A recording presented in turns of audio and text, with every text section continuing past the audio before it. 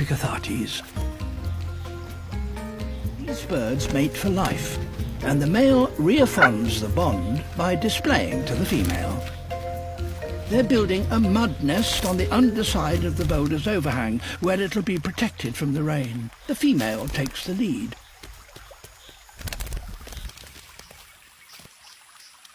The male doesn't seem quite so skillful. Oh dear. Luckily, she can put things right. Now she's collecting the soft furnishings.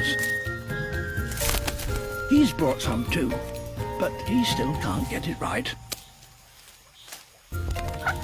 In the end, the female seems satisfied with the finish, and just in time.